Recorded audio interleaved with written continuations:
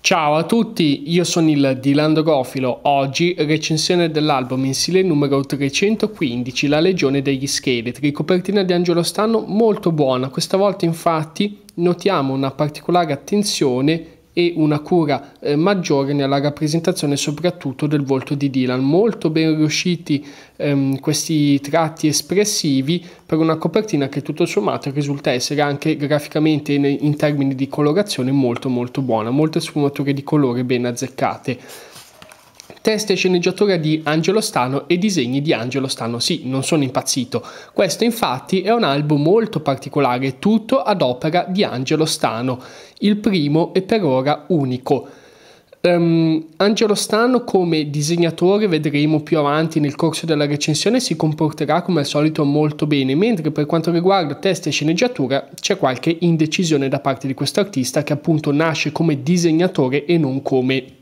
ehm, non come scrittore, questo eh, diciamo che il lettore lo nota. Dylan ehm,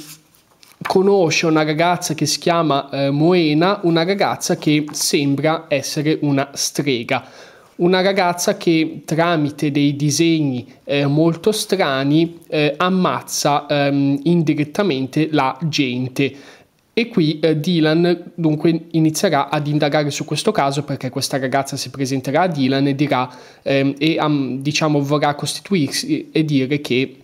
è stata proprio lei a commettere vari omicidi che sono avvenuti eh, negli ultimi giorni a Londra in, una, in, un, ehm, diciamo, eh, in un, una specie di riformatorio per questi ragazzi eh, disagiati. Quindi Dylan, ehm, una volta che viene assunto da questa ragazza, vuole eh, davvero vederci chiaro, vuole davvero capire se questa ragazza dice la verità e se è davvero lei l'assassina eh, che c'è dietro tutti questi misteriosi delitti. Ecco, la storia è questa, Angelo Stano non si spinge oltre, la trama eh, non dico che è molto semplice, ma comunque eh, non racchiude colpi di scena eh, particolari. Eh, più che altro Dylan nel corso dell'avventura andrà ad indagare anche nel passato della ragazza, una ragazza che si afferma con eh, dei problemi diciamo mentali, non è una ragazza a posto, eh, da bambina è stata anche maltrattata da una sua zia che a sua volta aveva dei problemi mentali, quindi un po' una situazione eh, tendenzialmente eh, critica per quanto riguarda eh, l'aspetto interiore di eh, questa ragazza. Eh, mm, l'unica nota eh, positiva e brillante di questa storia forse è il finale, dove per l'appunto il lettore finalmente incontra quello che eh, si vede già in copertina, quindi la legione degli scheletri. Questi fantomatici scheletri eh, appaiono solamente sul finale dell'avventura, eh, dove Angelo Stano tenta di ricreare un po' un clima eh, dinamico e di caos e soprattutto splatter, un po' eh, ripetitivo però. Ehm, adesso mi spiego eh, meglio. Dunque questa ragazza inizialmente ehm, disegna appunto eh, queste opere eh, malvagie, eh, viene rifiutata da questi ragazzi e quindi Dylan diciamo eh, tenta in qualche modo di osservare i comportamenti dei ragazzi che circondano eh, Moena e cerca proprio di capire l'aspetto interiore di Moena, però fino a qui la storia risulta essere un po' piatta ehm, e eh, quando Angelo Stano vuole mostrare al lettore ehm, delle eh, scene splatter, diciamo, ci riesce, ma solamente in parte, perché le scene splatter in questo album risultano molto ripetitive, così come la sceneggiatura. L'unica eh, vignetta, diciamo, diversa dalle altre, un, che spicca un attimino di più e eh, fa un attimo eh, brillare mh, mm, la storia è solamente questa, vedete? Eh, sì, forse una, una classica uccisione eh, del mondo eh, di Dylan Dog, però comunque in, in, questo tema di questa storia è davvero una scena ben ricreata. Invece le altre, come vi dicevo, sono molto ripetitive perché ehm, questi scheletri ehm, che ehm, escono eh, dal cuore malvagio di questa Moena vanno a uccidere tutti i ragazzi che hanno sempre eh, insultato Moena e quindi alla fine questa ragazza si è rivelata essere proprio eh, piena di poteri eh, malvagi, quindi lei scaturisce questi scheletri e questi scheletri eh, diciamo che vanno a vendicarla, però in, come possiamo vedere in queste scene ehm, più che eh, decapitazioni non avvengono. Ehm, quindi diciamo le scene splatter sono un po' eh, noiose. Ecco, nonostante l'azione dinamica incalzante, eh, rivedere sempre comunque in ogni singola vignetta eh, la stessa storia non è una, una cosa positiva, quindi più che eh, teste mozzate nelle ultime eh, fasi dell'albo non, eh, non si trovano. Detto questo, eh, Moena quindi che fine fa? Eh, fa um, Moena è um, vittima di un finale non troppo azzeccato, più che altro perché um, anziché Angelo Stano, anziché eh, creare un finale adeguato ad una storia che già non convince, Angelo Stano va ad attribuire a questa storia un finale un pochino eh, ancora più piatto della storia stessa, dove Moena eh, muore semplicemente a causa di una malattia di una, di una malattia per eh, un tumore al cervello. Quindi questa ragazza, dopo aver fatto una strage dopo aver affermato pubblicamente di avere poteri paranormali malvagi, muore semplicemente, quindi giustizia non viene neppure fatta. E Dylan su tutta questa storia eh, non ci pone neanche una pietra so- sopra, proprio Dylan sembra quasi fregarsene, questa è quasi una storia eh, che come viene va via, quindi nulla di significativo. Per questo che Angelo Stano si propone in questa storia come scrittore, ma non convince particolarmente, anzi a me personalmente non ha proprio convinto convinto. Inoltre, come vi dicevo, oltre alle scene splatter ripetitive, sono ripetitive anche eh, proprio le vignette che mh, in ogni scena risultano sempre eh, uguali. Vediamo un po' adesso, eh, cerco di eh, trovarvi un, um,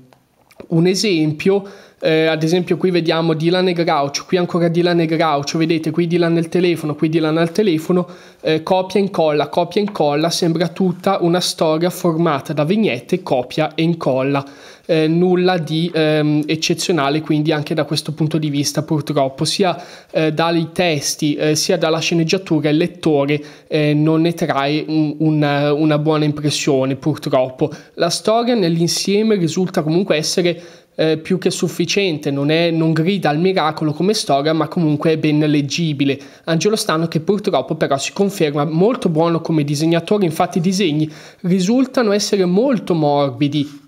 Angelo Stano che eh, nel tempo è riuscito ad evolvere la sua tecnica ehm, per quanto riguarda la rappresentazione soprattutto dei volti delle persone. Come vedete Dylan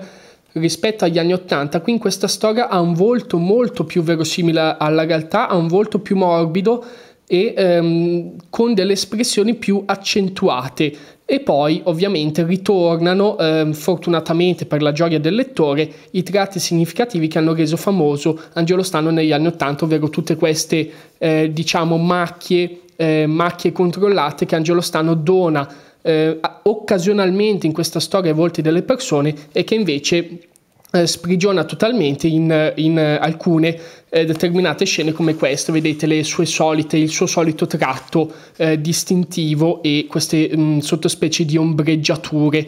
eh, davvero molto molto buone. Quindi ehm, tutto sommato una storia eh, sufficiente come voto finale, potrei dare un 7, do un 7 come voto finale perché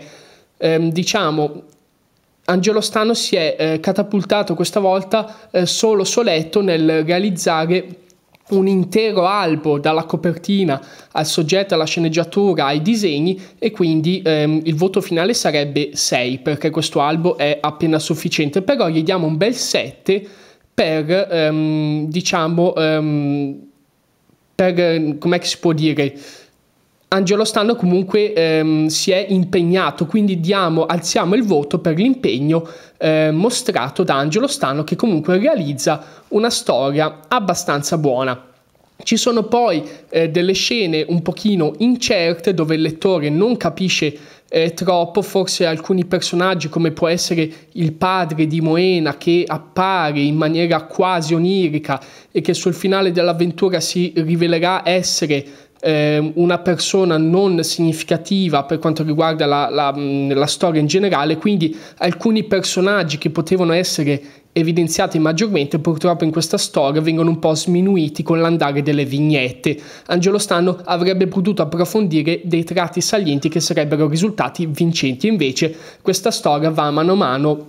per sfumarsi in una maniera non troppo convincente e sempre eh, meno chiara e eh, piatta. Comunque, eh, se volete recuperarlo, è comunque un album molto particolare perché è stato fatto interamente da Angelo Stano. Per il momento è tutto, se questa recensione ti è piaciuta condividila dove vuoi e con chi vuoi, iscriviti al canale per rimanere sempre aggiornato sul mondo di Dylan Dog e noi ci vediamo al prossimo video dedicato al mondo dell'indagatore dell'incubo.